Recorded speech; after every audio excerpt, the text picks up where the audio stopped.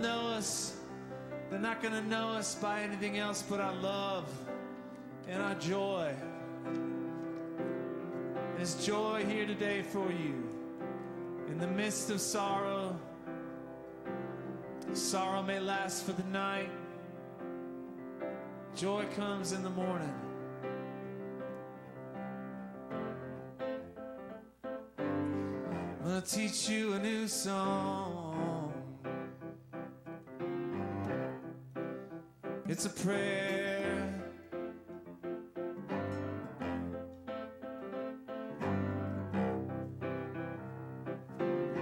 Here's how the chorus goes. On earth as it is in heaven, on earth as it is in heaven, come down, come down. On earth as it is in heaven, on earth as it is in heaven, come down, come down. Well, our Father in heaven, hallowed be your name.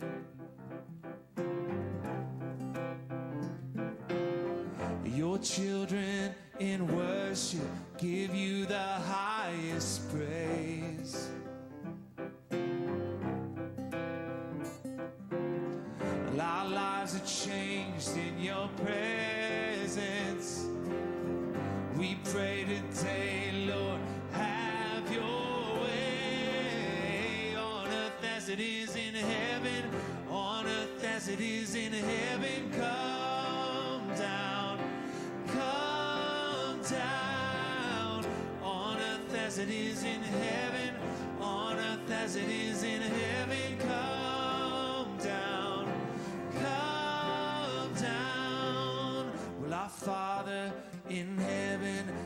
give us what we need.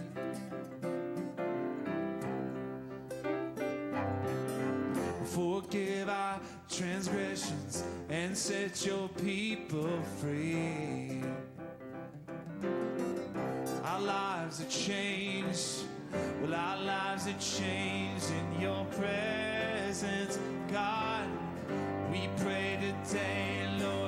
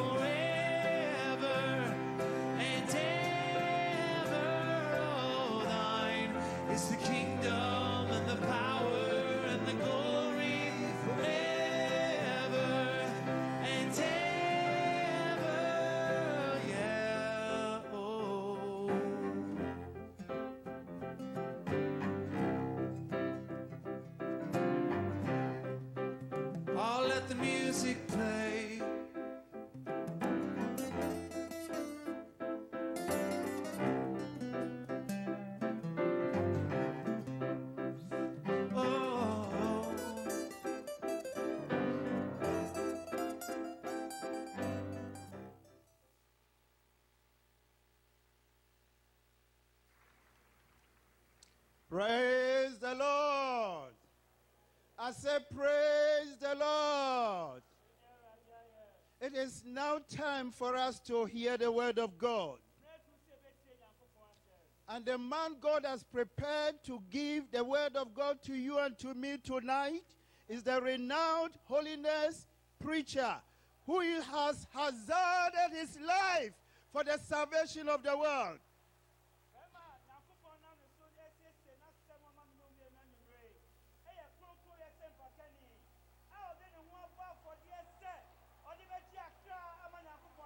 Who is also the convener of GCK in the person of Dr.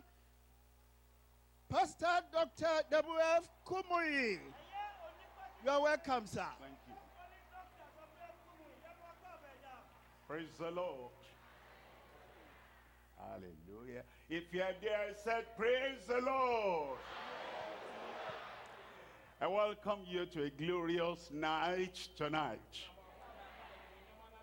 Thursday, Friday, Saturday, great, marvelous things the Lord did. Tonight is like we're just coming now. Great manifestation, great power, glorious visitation. I can't even hear the amen of the people in front of me. Something glorious is coming your way. Mighty power manifested in your life tonight. You know, everything was dark. And then we plugged in into that little socket and see everywhere became bright. And as you plug in tonight, as you connect with Christ tonight, everywhere in your life, in your family, in your community, the light of heaven will shine. Let's pray together. Father, we thank you tonight. We praise and glorify your name. How mighty you are. Unchanging, unchangeable. What you have done in decades gone by, generations gone by, years gone by, you are going to repeat everything in every life here tonight in Jesus' name.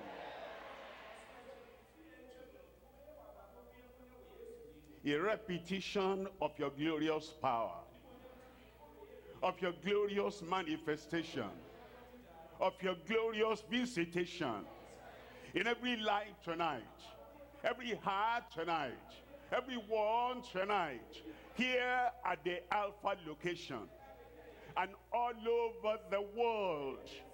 Manifest yourself and visit everyone in Jesus' name.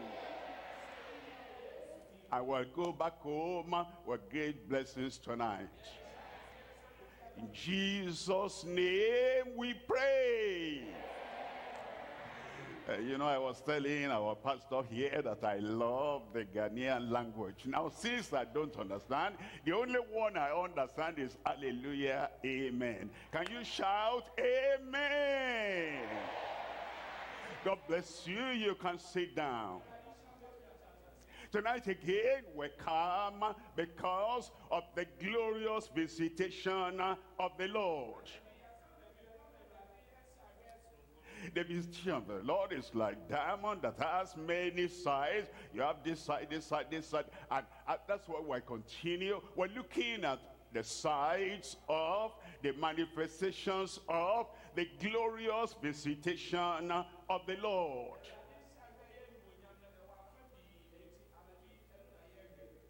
And tonight, as the Lord reveals himself afresh, and he shows us what will happen when he visits us gloriously. You will not be left out. Blessings in your life, salvation in your life, restoration in your life, miracle in your life, deliverance in your life, and the great reconciliation with the Almighty God coming upon your life tonight in Jesus' name. We had expectations before we came that if the Lord can touch me, if I can touch the Lord, the expectation that he touches me and I touch him, that expectation you have in your heart, beyond even that, the Lord will do tonight for you.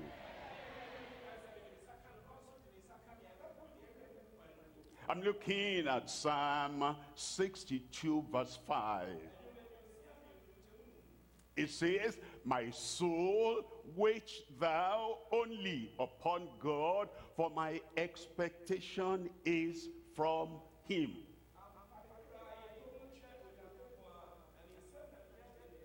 My expectation is from him. no disappointment, no delay, no failure. My expectation is from him. It tells us in verse 6, it says, he only is my rock and my salvation. He is my defense. I shall not be moved. Look at verse 7. In verse 7 it says, In God is my salvation. In God is my glory. The rock of my strength, my refuge is in God. And then it says in verse 8, trust in him at all times. Seek at all times. Sinful at all times. Defeated at all times. Oppressed at all times. And so poor you could not have the sufficiency in your life at all times. You trust in him in sin and you want salvation, you trust in him. In the dungeon, in darkness, in the prison, and you want to be lifted up and taken up, you trust in him at all times. The sickness is so terrible and no one can help you. You've gone here, you've gone there, you've gone everywhere, Trust in him at all times. You have such a burden and such a heavy load you cannot even describe and you cannot bring to the Lord. It says, that's not, don't go away from the Lord because of the burden. Trust in him at all times.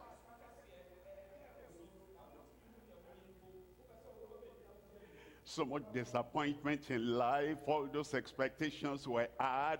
Years gone by decades gone by. Years have come and gone. Decades have come and gone.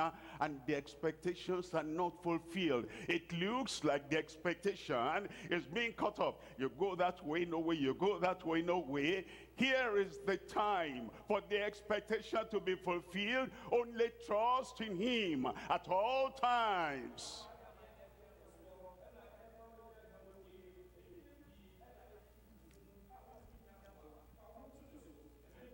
Tonight you are wondering, what will happen? Something good will happen. Because your trust in him at all times. Trust him, not trust in him at all times, ye people. Pour out your heart before him. God is a refuge for us.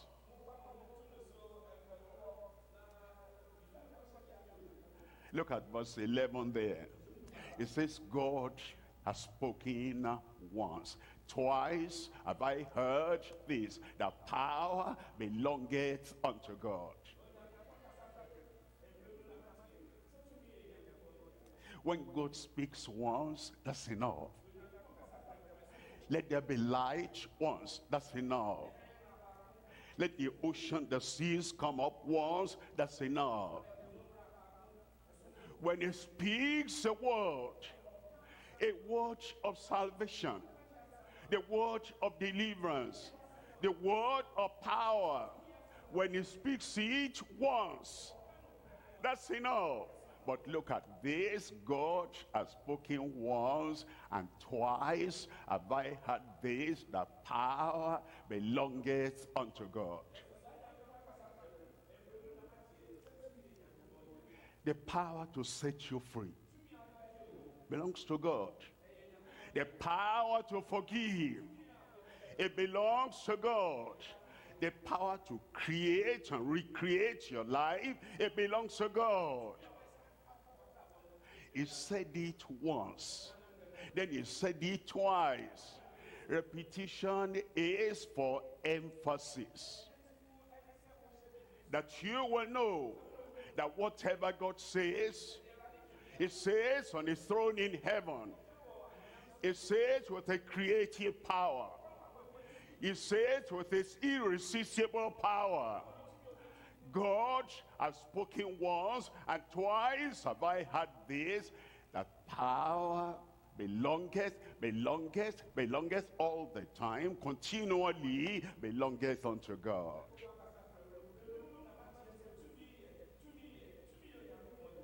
And then in verse 12, it says, Also unto thee, O Lord, belongeth mercy. God is always full of mercy. In the past, at the present, in the future, the mercy of God is always full.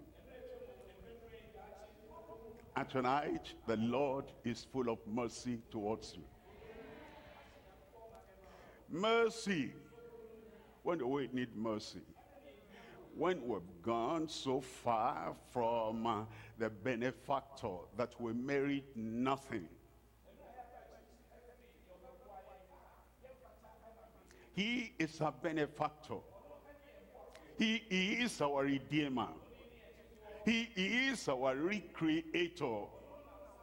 And we've gone so far, we're even ashamed of ourselves.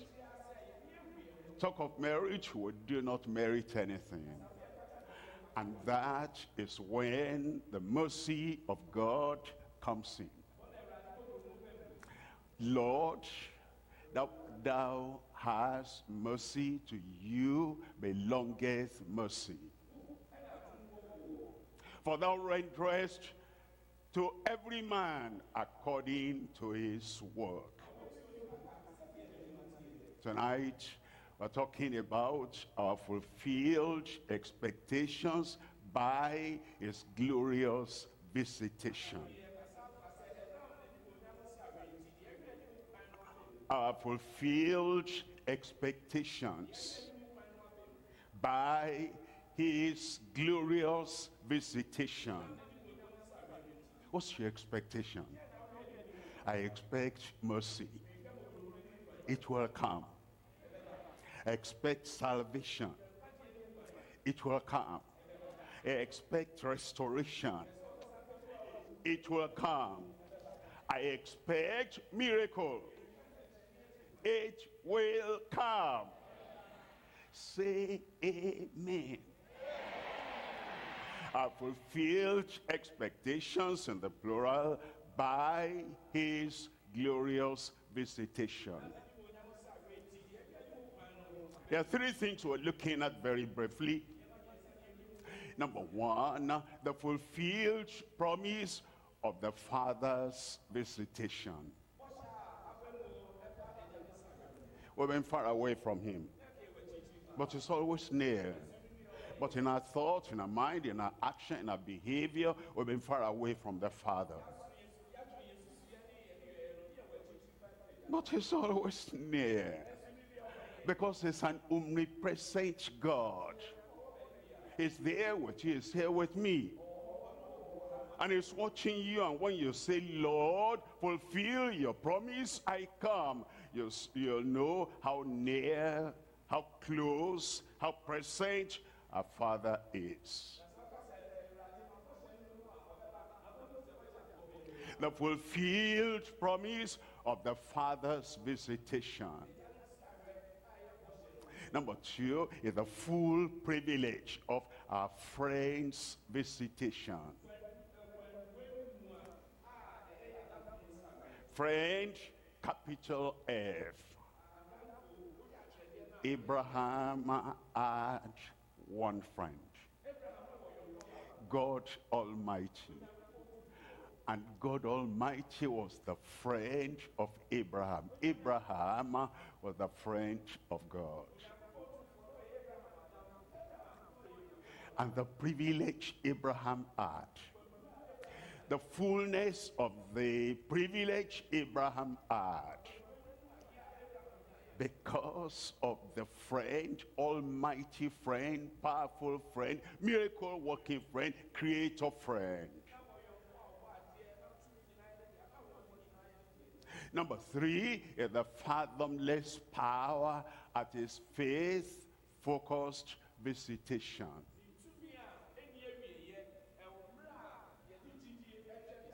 Fathomless, so deep you cannot come to the bottom, so wide you cannot come around it, so high you cannot get to the peak, fathomless, limitless, unlimited in our lives.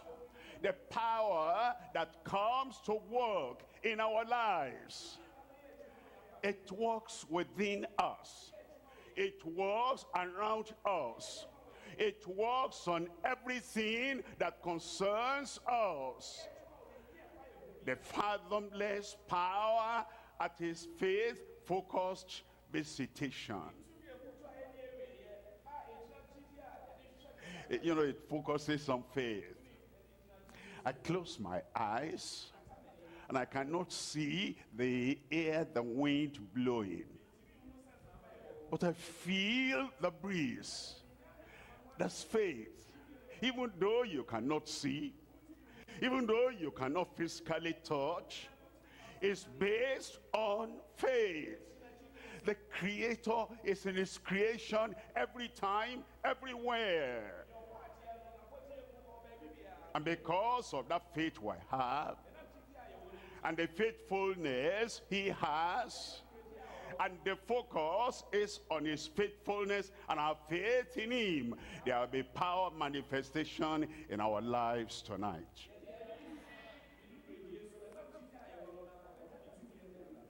I said there will be power manifestation in your life tonight. Look at those things one by one. We're looking at number one. The fulfilled promise of our Father's visitation. In Exodus chapter 3, reading from verse 7. Exodus chapter 3, verse 7.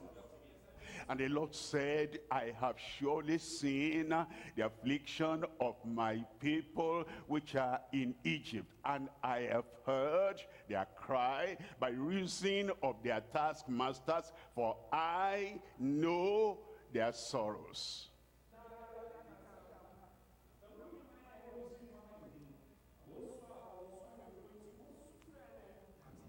In uh, one of the part, in one part of our African continent. The people there say when somebody is laughing, is weeping also on the inside. Smiles cover, laughter covers the sorrow, the suffering, the pain men, women have on the inside. But God sees the affliction. He sees the sorrow. He sees the heartache. He sees the pain that our laughter and smile try to cover up. The pain of failure. The pain of dissatisfaction. The pain of sorrow and sin and suffering the pain of going to places we regretted at last. The pain of the regret and the remorse of our lives. He sees our pain. The pain of had I known. He sees it all. It's private, it's personal, it's painful. He sees it all. You, you, can tell those children of Israel when he eventually came out, they say, well, remember the cucumbers and the onion and the pomegranate and everything that we ate in Egypt. Ah, they were covering up something. I see your affliction. I see your sorrow.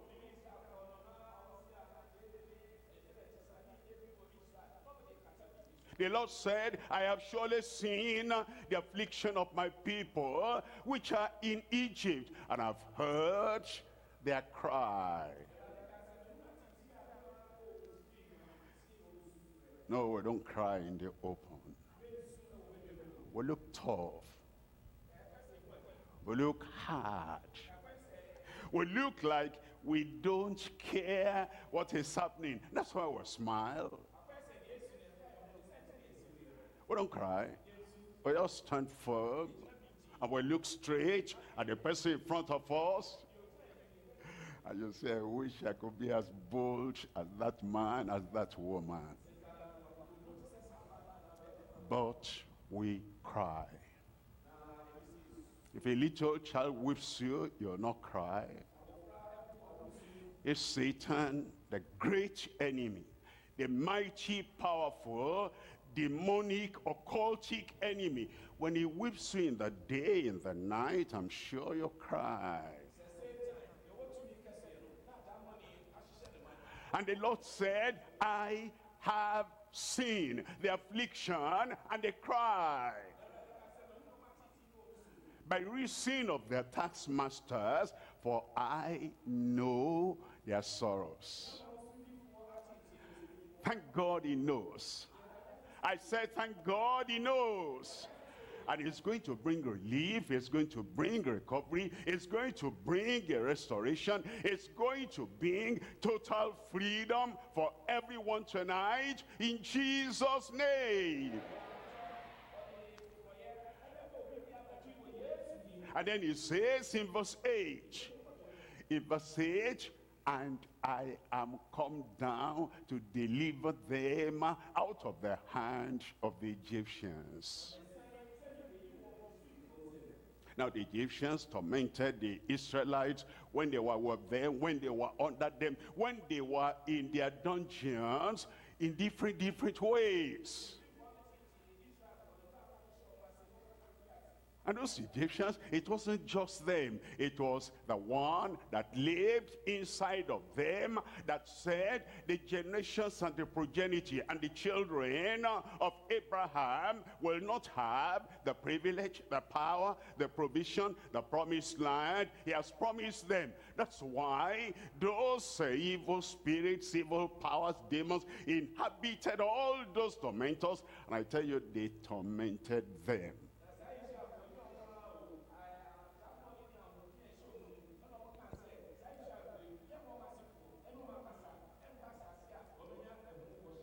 And then the Lord says, I come to bring them out, out of the land to a good and a large, unto a land flowing with milk and honey, unto the place of the Canaanites and the Hittites and the Amorites and the Perizzites and the Hivites and the Jebusites.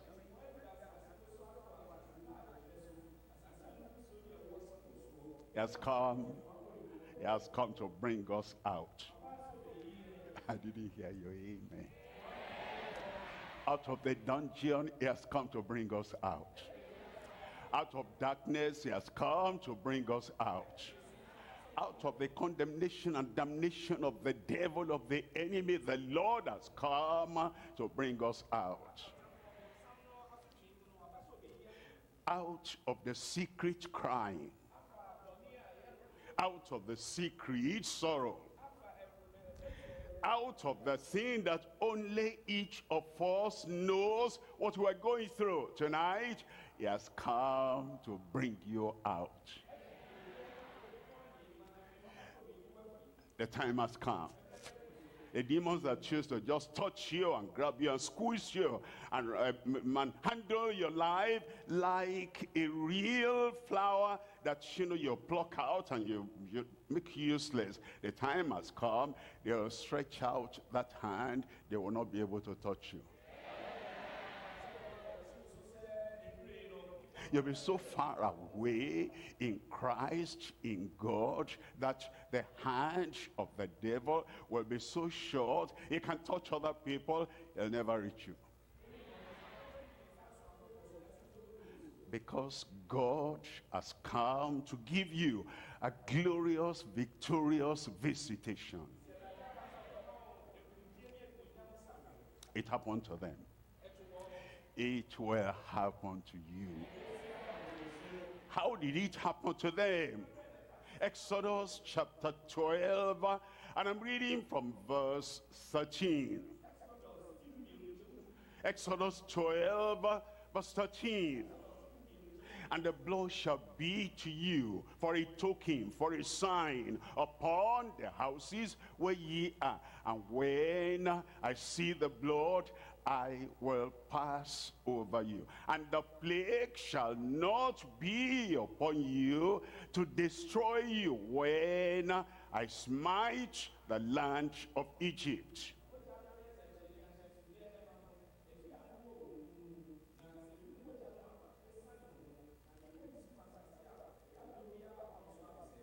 When I see the blood, I will pass over you. That was the blood of an animal at that time. All those lambs that they slaughtered refer to the Jesus Christ, the Lamb of God, who was to come and take away all our sin and all the consequences of sin.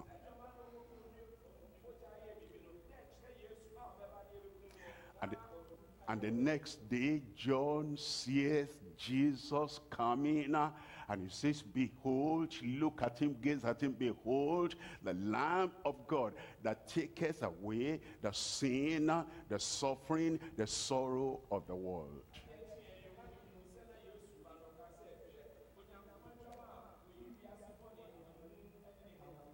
All the people, no exception. The man, the woman, the boy, the girl. All the members of every family they applied the blood on the lintels of their houses. And the angel of death could recognize the houses where the blood of the lamb had been put. And the angel that came from heaven to touch all those houses without the mark of the blood. Is so respected, recognize the blood because it's pointing to the blood of Jesus that will come. They never could get in to those houses to hurt anyone there.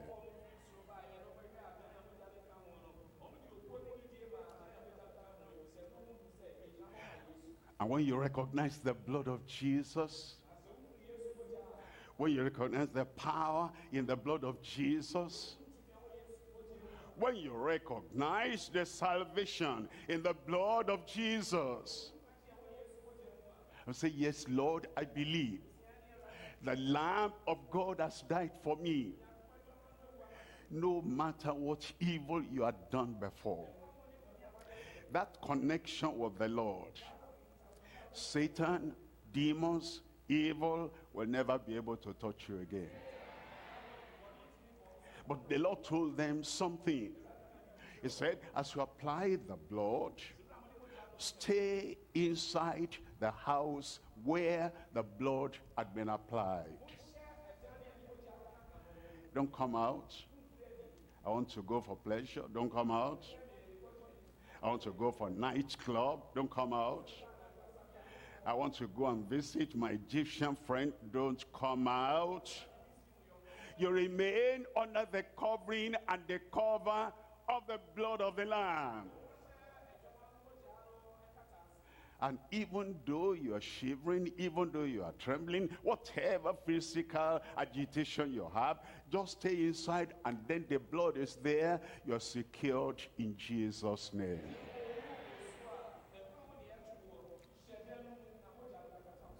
And so, as you believe in the Lord tonight, and you come out of that Egyptian darkness, your life will have a new turning around for the better. We're looking at First Corinthians chapter 6. And I'm reading from verse 9. First Corinthians chapter 6, verse 9. Know ye not that the righteous shall not inherit the kingdom of God? Be not deceived. Neither fornicators, nor idolaters, nor adulterers, nor the effeminate, nor abusers of themselves with mankind. You know, there are people who are very religious. And what they ought to know, they don't know. What do they know? I know Psalm 23. I know Psalm 27. I know Psalm 91. When anything is going to happen, if I put my Bible and open to the Psalms under my pillow, finish. That's all they know. They say when I go to wash in the river, they say when I drink that holy water, they say all the evil they will scatter here and there. That's all they know. They don't know this one that we're reading now. They think if I just go church on Christmas Day, Easter time, I'm a Christian now, am I not?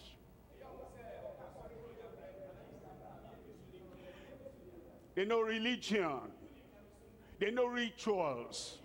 They know celebrations. You need to know something more before you get to the kingdom of God before you come out of Egypt and get to the promised land and get to the kingdom and get to heaven, you need to know something.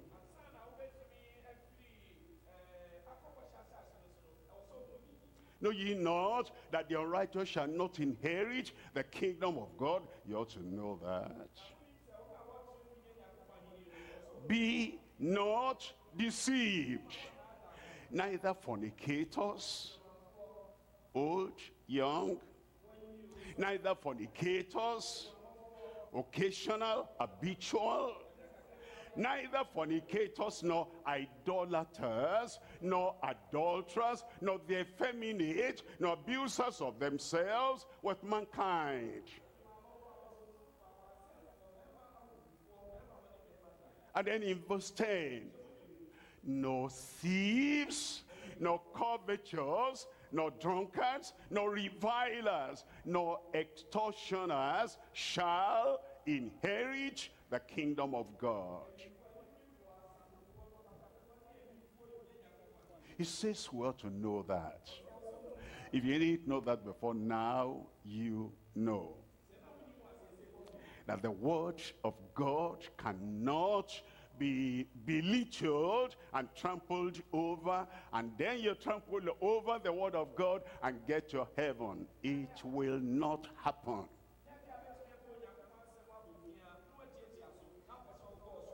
It says, well, you know, coming out of Egypt, coming out of darkness, coming out of evil, coming out of the bad occulty kingdoms of this world and getting to the kingdom of God, here is what we ought to know. If you cannot get to the kingdom of God with all these uh, baggages, then you drop them uh, at the foot of the cross. You repent, you turn away from them. You believe in God that cleanses us and forgives us and he changes our lives. And now you're on your way to the kingdom of God.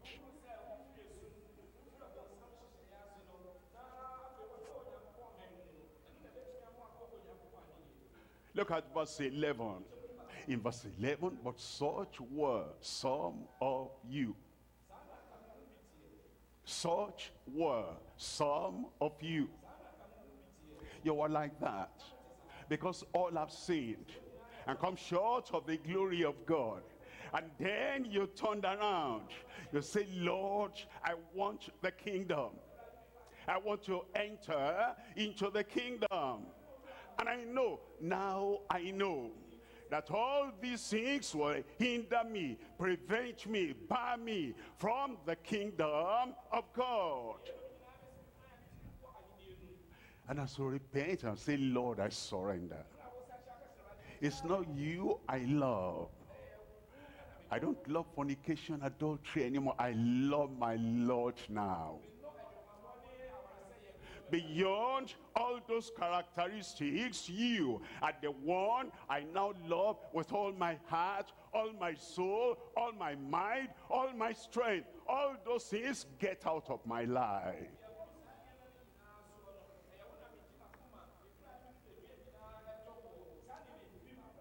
That's why he says, but ye are washed. But ye are sanctified.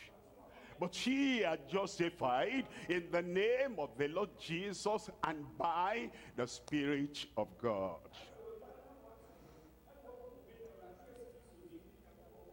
It will happen to you tonight. You'll forsake all those works of the devil. All those activities of darkness. Seriously and wholeheartedly in your heart. And then you come before the Lord. Believing that he and he alone can set you free, can forgive you, can make you whole again. And his salvation and freedom will come unto you. And the promise of God that says, and everyone that shall call on the name of the Lord shall be saved. There will be a fulfillment of the promise of the because of the Father's visitation.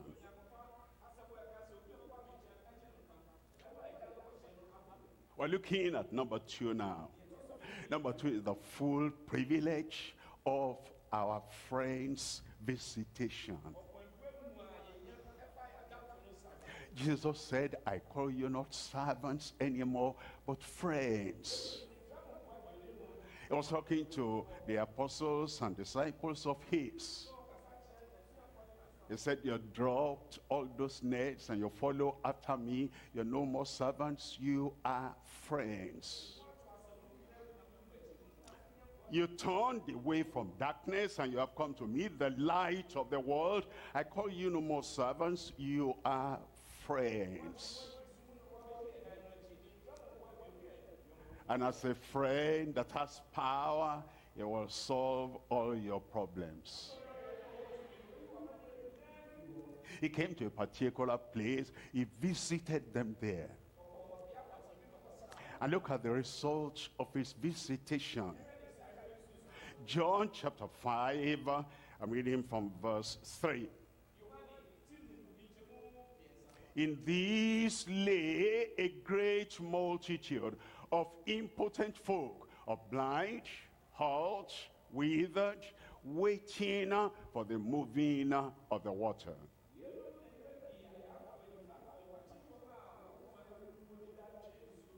And then in verse 4, it says, For an angel went down at a certain season unto the pool and troubled the water.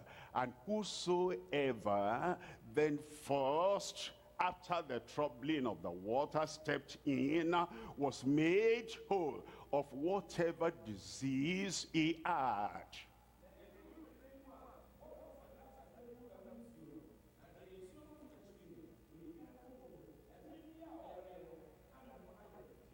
In verse 5 and a certain man was there which had an infirmity 30 and 8 years. In verse 6 when Jesus saw him lie down there and knew that he had been now a long time in that case, he says unto him, Wilt thou be made whole.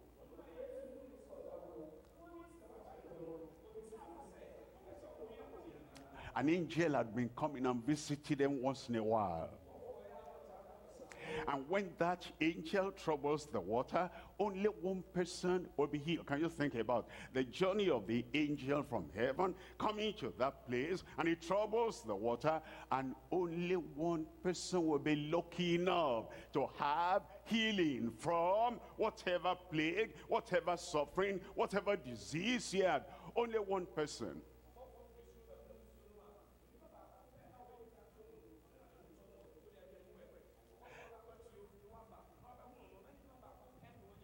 And now Jesus came to visit them.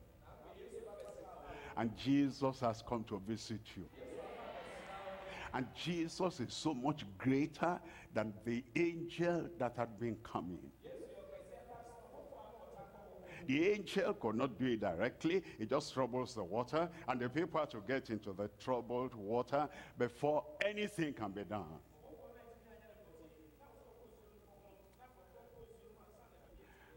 But Jesus doesn't need the water to heal you. I didn't hear your amen. The water in the bottle, he doesn't need that to heal you. The water in the river, he doesn't need that to heal you. He himself is the healer. He himself is the deliverer. He himself is the redeemer. He himself is the miracle worker. Uh, look at how he did it. Look at verse 7. In verse 7, the impotent man, the helpless man, the hopeless man answered him, Sir, I have no man. When the water is troubled, he's still looking at the water. When the water is troubled, to put me into the pool. But while I am coming, another stepped down before me.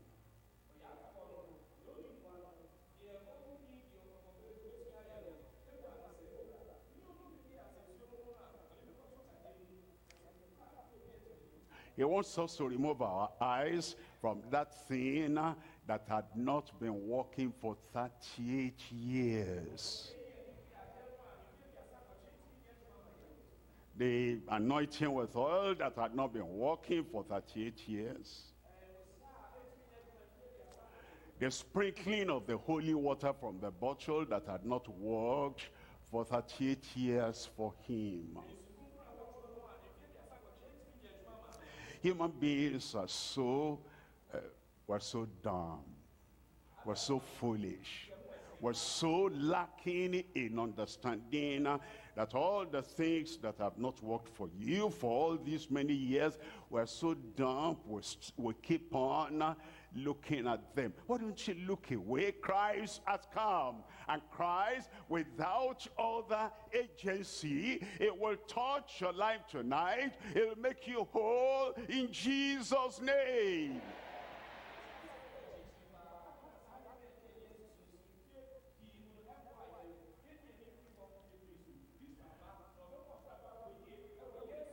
Look at verse 8 in verse 8, Jesus saith unto him. He didn't carry him. He didn't touch him. Jesus is different. He didn't go to, okay, if you cannot get to the water, I'll get the water to you. No. Now you have a man, the man of Galilee. He will carry you and throw you into the water when the angel comes. Jesus does not need the coming of the angel before he performs his miracle upon your life.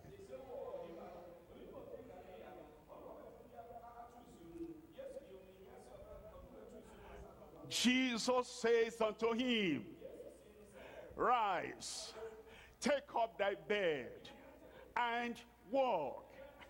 If you're lame there tonight, you'll hear that word coming through me from Jesus, that you will arise and you'll take up your wheelchair and your crutches and wave them like this. You'll walk in Jesus' name.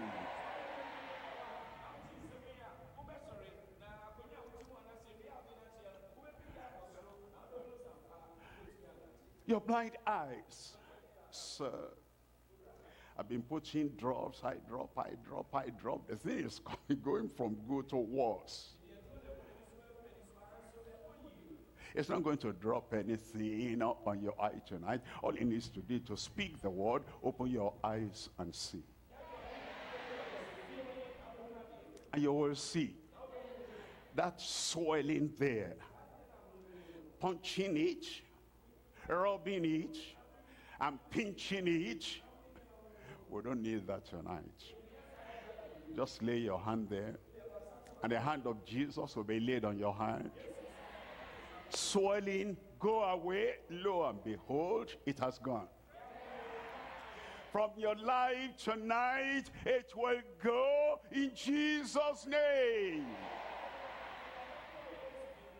Jesus says unto him, now the man has got his own miracle. Is you are the next. And Jesus says unto you. And Jesus says unto you. That my king knocking your head as if they want to break your head or cut it off. Peace, but still, or that thing will vanish away.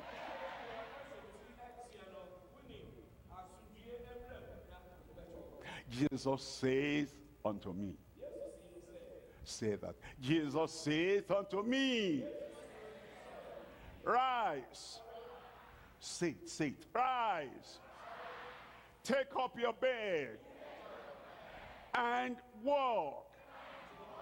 What will happen to you? That miracle will take place in Jesus' name.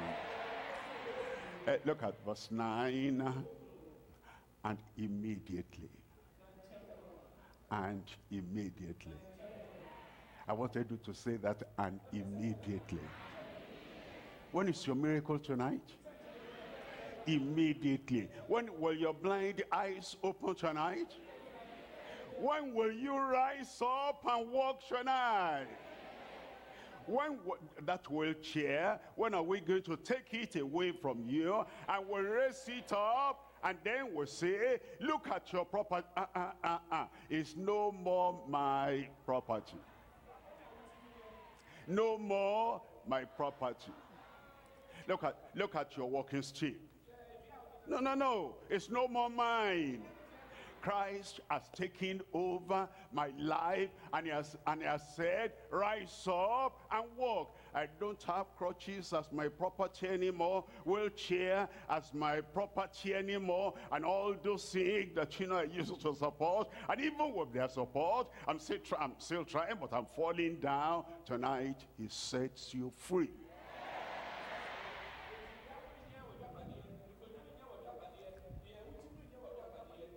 And immediately the man was made whole. You understand? Made whole. Everything connected with all the impossibility of his life, everything taken away. There was no lack, there was no pain, there was no deformity, there was nothing else. The man was made whole.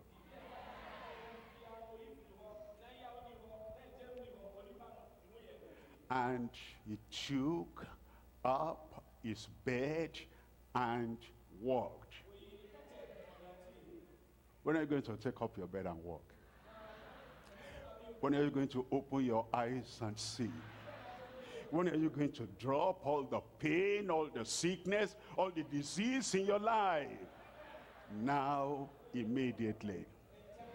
I, don't want to keep you far from the miracle. Let me come to point number three quickly. Number three is the fathomless power at his faith-focused visitation.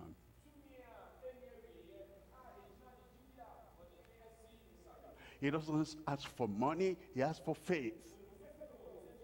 He doesn't ask you for what you don't have. He wants to build a mansion. He wants to build a sanctuary. And then he says, if you're going to be healed, bring money, bring money. I don't bring small. If you want a big miracle, bring much more. Christ does not ask about that. All he's asking for is, do you believe I can do this? All he's asking for is faith.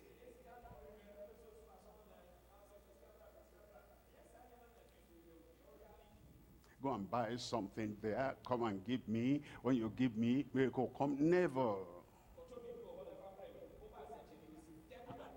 How much money do you have in your account?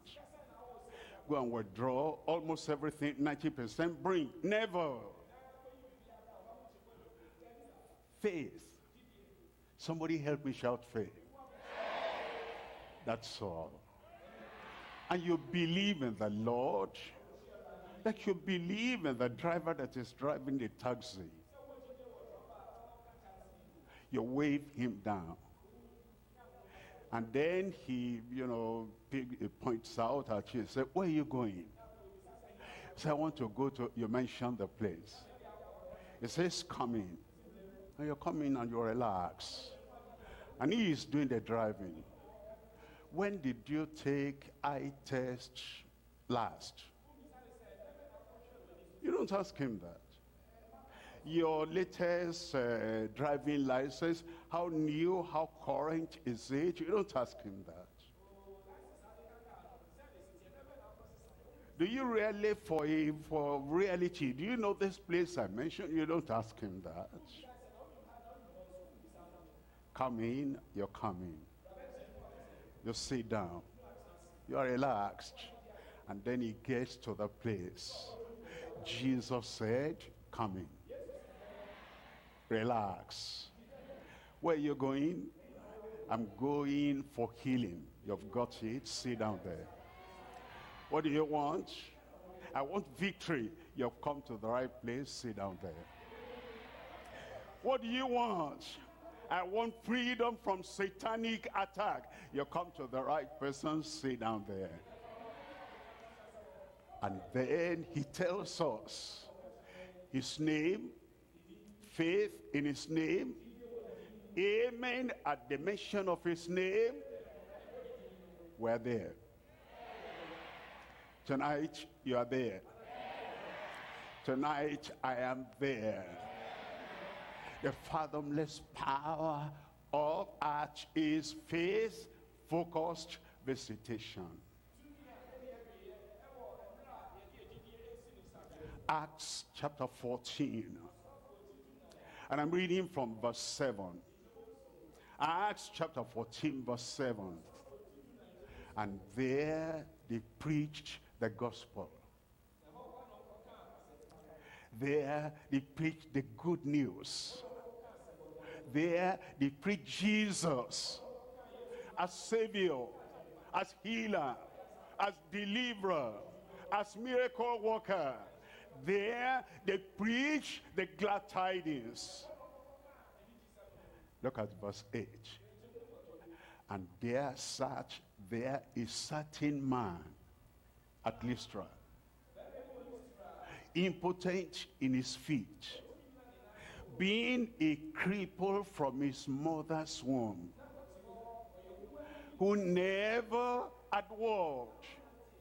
Verse 9, the same heard Paul speak.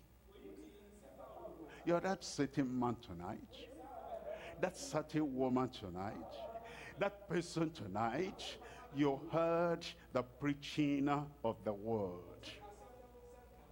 And who steadfastly beholding him, perceiving that he had faith to be healed. How did Paul perceive that? Paul was preaching the good news. He was excited about it. And he looked at the man. The man began to smile. Today is my day. The man began to rejoice. He was so excited. He, was rubbing uh, his uh, legs his tight before. He was trying to stretch before. He was squeezing the face before because the pain was excruciating. He looked away from everything. He was looking at Paul intently, excitedly, expectedly. It's like, today is my day. And when Paul looked at him, he could see the expectation coming out of his eyeballs. I see that faith in you tonight. I see that expectation in you tonight you know in the heart of heart, you know in the deepest place in your life that this Jesus will save me today, will heal me today, will turn my life around today.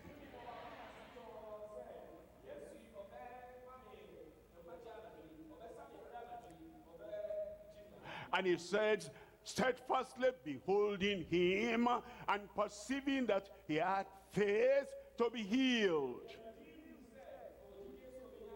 Look at verse 10. In verse 10, he said with a loud voice. He said with a loud voice, Stand upright on thy feet. Didn't touch him. Didn't pour water on him. Didn't rub his face. Didn't shake him. Didn't push him. He stood where he stood. And the lame man who had never walked in his life was where he was. But Paul perceived he had faith to be healed. It's all of faith. It is all of faith. And what's this connection between the hearer and the speaker, the speaker has faith, you are going to be healed. You have faith, you are going to be healed. The speaker, the hearer, in agreement together. And if two of you shall agree as touching anything on earth, you ask heaven, heaven will do it for you. And so your time has come. You have faith to be saved. You have faith to be forgiven. You have faith to be set free. Christ has paid the price.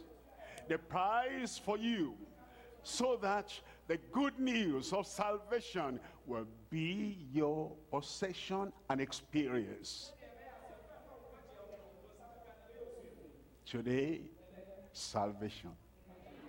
Today, forgiveness.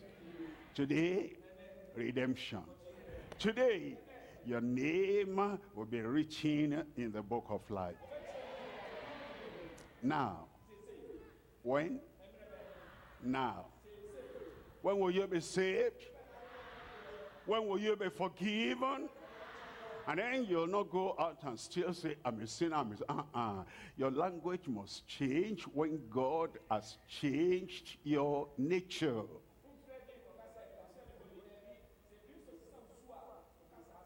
From tonight, your life will be different. It's bowed and eyes closed. Your salvation has arrived. Because your Savior has arrived.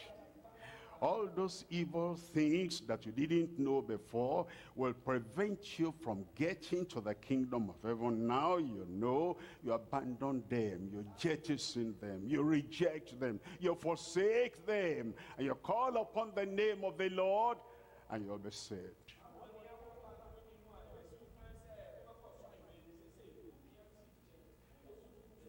You want that total freedom, salvation, forgiveness, wherever you are, raise up that hand. This is your time of salvation. Raise it up, raise it up. God bless you, God bless you there, God bless you there. Tonight is your night. If you're raising up your hand, please you will stand up. You're raising up your hand, please you'll stand up for forgiveness. Stand up right now.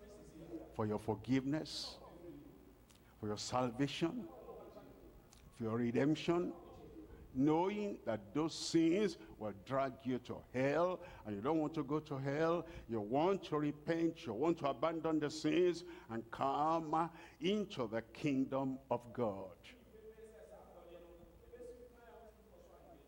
Stand up the lord is waiting for you.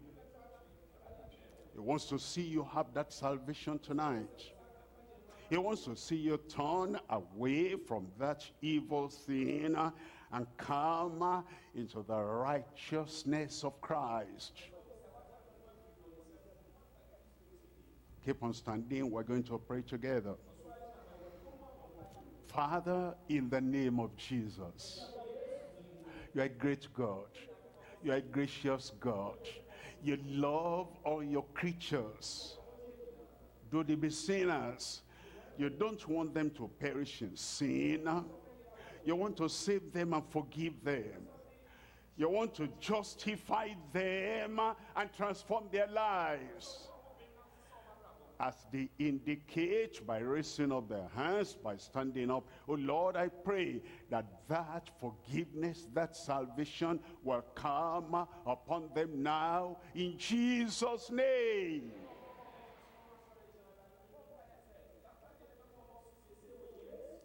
I pray you separate them from their sin and separate the sin from them.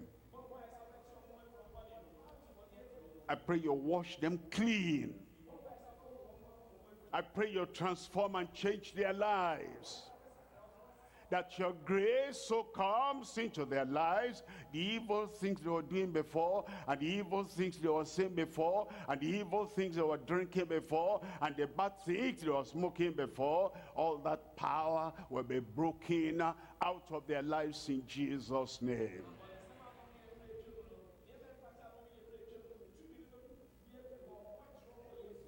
As they believe in the death and the blood of the Lord Jesus Christ, wash and cleanse them from all their sins.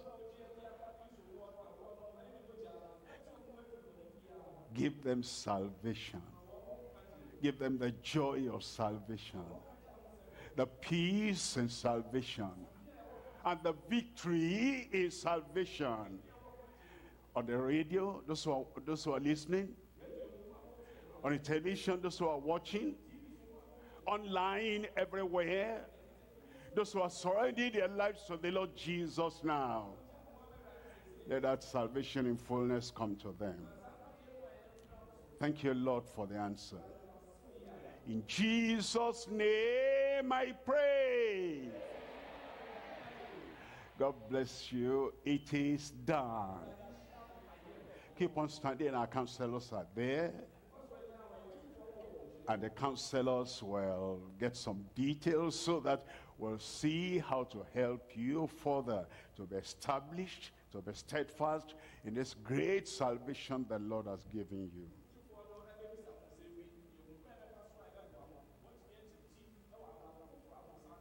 We'll call on our overseer to take over now and help us before the time of miracle prayer.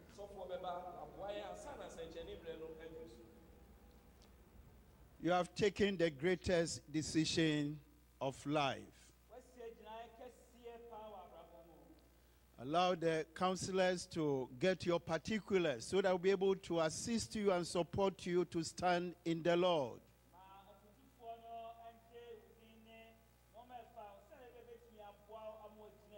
Give correct information to them. Don't give a name which people come to you, they will not be able to recognize or see you.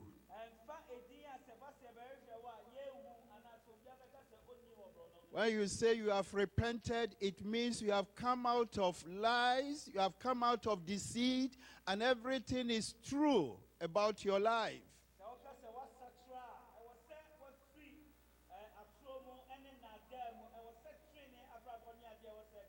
Want the counselors to go near them and make sure that you take their particulars as it is on the cards.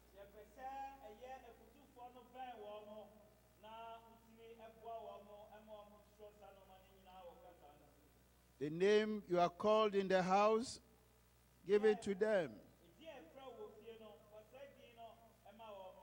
There's any popular thing around your house which they can use to locate you. Tell them.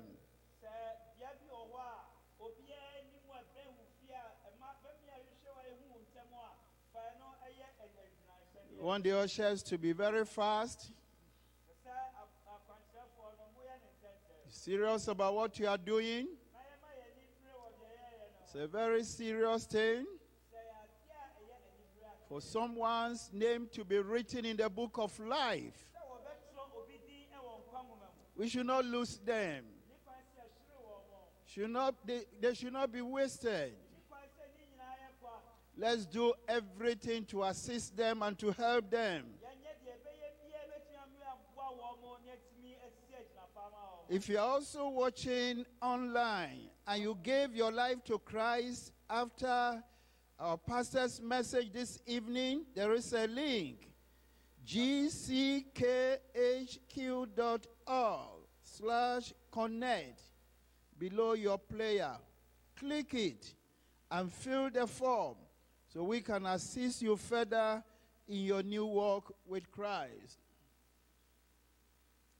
Also, if you are listening via the radio or television and you just gave your life to Christ, send your name, your phone number, and your location address via SMS or WhatsApp to plus 234 915 444 9263 plus 234 915 444 9263. That's the international contact number. And if it is in Ghana here, the Alpha location, Ghana GCK Secretariat, plus 233 55 245 1955. The number again, plus 233 55 245 1955. There will be a special meeting also, which we call Lunch Hour with Jesus, for all those who gave their lives to Jesus right from the beginning of this crusade on Thursday, Friday, Saturday, and all those who are deciding today. Please, you do yourself good if you respond to these calls and you meet the counselors at the pavilion on my left tomorrow by 1.30 you'll be helped. The pastor the man of god the convener of gck has written a special letter for you. He has given some literature that will help you to be able to stand on your feet. So respond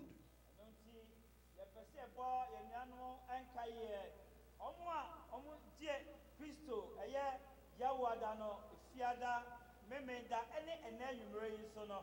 Yɛpɛ sɛ ɛbɔ mo nka yɛ sɛ yɛwɔ nhyiamu sononko bi ɛma mo ɛyɛ ɔkyena awia dɔnkoro ɛne fa ɛwɔ yɛn nsa ebenkum so ha ɛwɔ baabi a yɛakata soɔ no. Sɛ bɔ mmɔden sɛ woyi ho firi mu a wayɛ wo ho. Na mmom bra na awurade nhyira wo nam n'akoa so asiesie ama wo no. Yɛntumi mmoa wo na hyɛ kena na gyina ma awurade ne yie mu nso no wɔsa krataa sonko bi ɛrema wo ɛne ɛmmoa nwoma bi a sɛ ba sɛ nsa ka a aboa wo yie pa wo ho mu please the counselors you signify if you are through Aw- ɛyɛ akwankyerɛfoɔ sɛ ba sɛ mowie a monya mo nsa ne ɛhu sɛ moawie another announcement for the Converse Rally. There will be a special online banquet for all those watching online all over the globe who gave their lives to Christ. Throughout this program, there will be a pro- special program for you 30th April 2023. So more details about this will be sent to you. The pastor will be delighted to have you join this special banquet. May I hear from the counselors if you are through?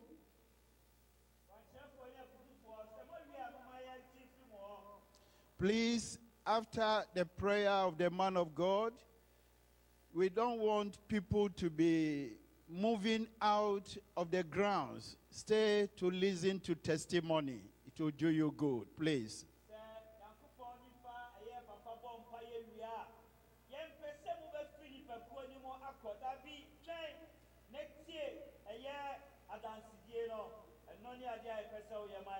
Are you moawie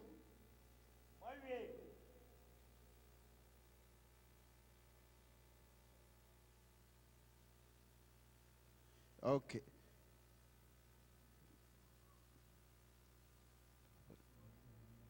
Sir, they are through, sir.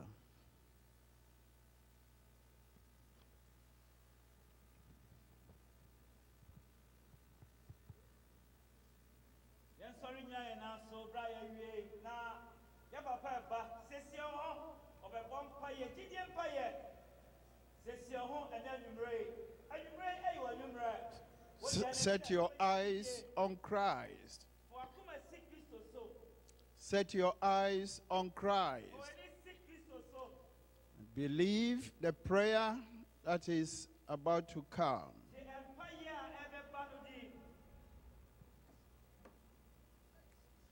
Amen. Amen. I said the amen for you already. We shout before the Jericho walls fall.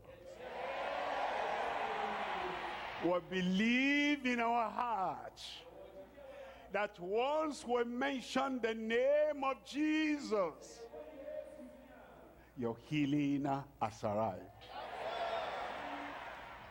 And when Paul looked at the man, and the man was full of expectation, and he knew that he had faith to be healed. He said, Stand upright on thy feet. And he lived and walked. That's you now. Those blind eyes will open. Lame legs will find strength. Every pain will vanish away. I rejoice with you. It is done. Raise up your hand. Lay the other hand where you have the problem, the challenge. Deaf, dumb, you are healed. Lame, paralyzed, you're healed. Blind, you're healed. Incurable disease, you're healed. One hand up, the other hand where you have the challenge. Father, in Jesus' name, we know this is the moment of the manifestation of your power in every life. And therefore, Lord, I pray, touch everyone miraculously in Jesus' name. Those who have insanity, heal them right now. Goiter, heal them right now. Swelling any part of the body, heal them right now. Tuberculosis, HIV, heal them right now. Cancer, ulcer, heal them right now. Uh, Hernia, be healed right now. Ulcer, be healed in Jesus' name. Paralysis, be healed in Jesus' name. Deaf and dumb, be healed in Jesus' name. The blind, be healed in Jesus' name. Whatever the name of your sickness, infirmity, the Lord touch you right now. You're healed. You are delivered. You are set free. As you hear this final amen now, the miracle will be your life. Thank you, Lord. We know it is done. For him, for her. For the boy, for the girl. For every kind of infirmity, it is done, it is healed in Jesus' name. Miracles everywhere today. Healing everywhere today. Confirmation, manifestation, operation of the Spirit everywhere tonight now in Jesus' name. Thank you because I know it's done. In Jesus' name I pray. I got it. Say, I got it. Say, I receive. See it in your life and come out to give your testimony.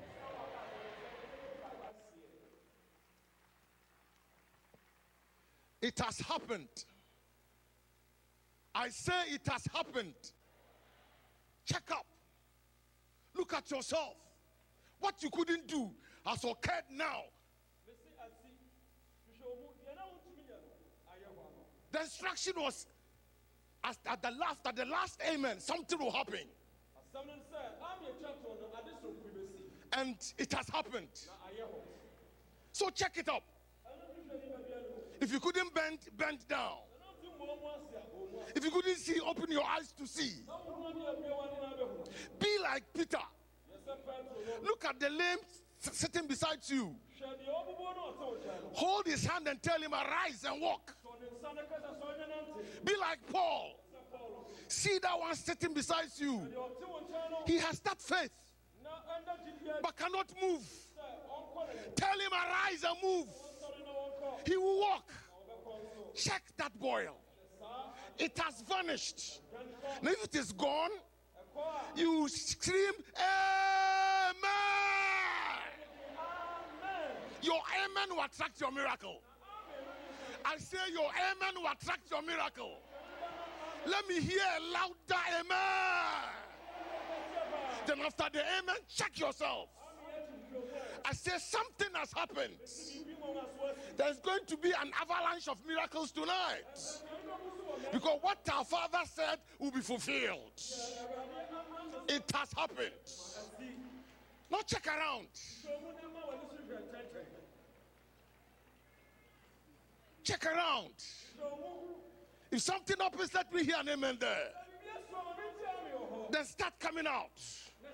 Yes, I see one man coming out. That is the Lord's making. The Lord has started. Then yours is on the way. You are going to be affected now. The Lord has started doing it. Yes, I see a man walking there. So you to arise and walk. Throw the, the clutches away. Get up from the wheelchair. Because God had descended to heal. God had descended to heal.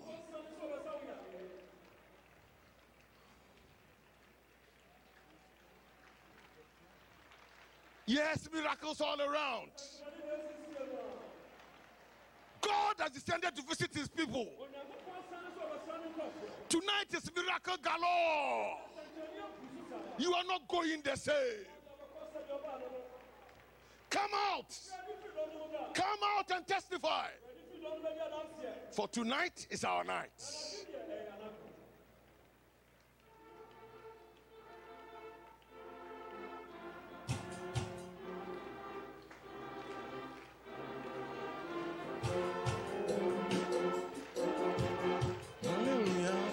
The Lord. Oh, Jesus. Praise the Lord. Hallelujah, hallelujah, hallelujah, praise the Lord. Hallelujah, hallelujah, hallelujah, praise the Lord. Hallelujah, hallelujah, hallelujah, praise the Lord. My Jesus conquered Satan. Hallelujah, hallelujah, hallelujah, hallelujah, hallelujah. Oh, hallelujah.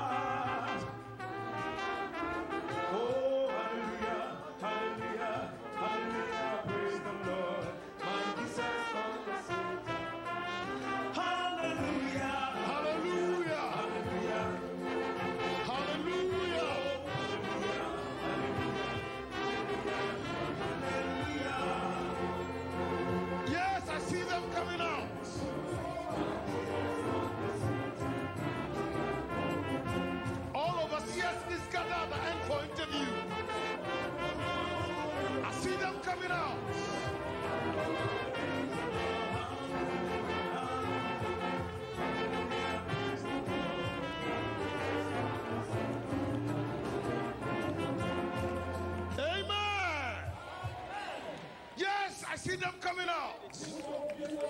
I seen a clutch lifted up there. Check the deaf and dumb you brought.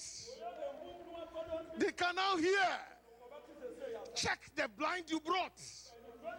They can now see. Bring them out and come to my left side here for testimony. People are gathering there. Therefore, you should also be there. See the woman march. See the woman march before us. That is the hand of the living God. That is the hand of the living God. God has visited his people. You shouldn't be left out. The Lord must touch you before you go tonight. So check your system. Check your body. Look at the swellings around you. Check it again. And it no, longer, no longer be there. As you receive your miracle, come out. The Lord is in our midst. And as our pastor said, and as we read from the scriptures, it was immediately, not go come, instantly. Nobody should leave, please. No movement on the field. Because tonight is testimony galore.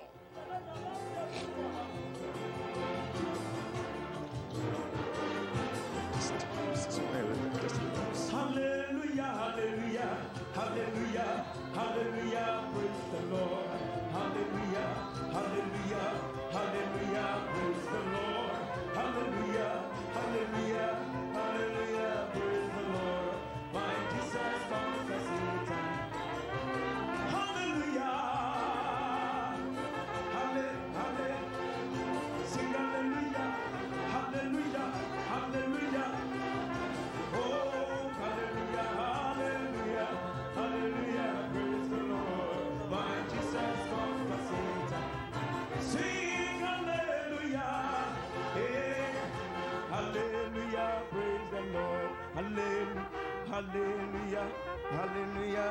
hallelujah,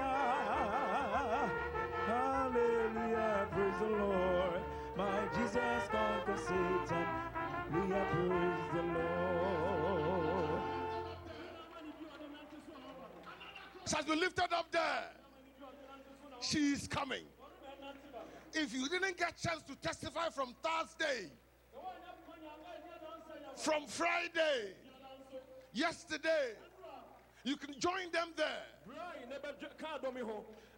Add yourself to the multitudes coming to testify. Tonight, you get a chance to testify. The Lord is in our midst. He won't pass you by. So determine that, Lord, I'll not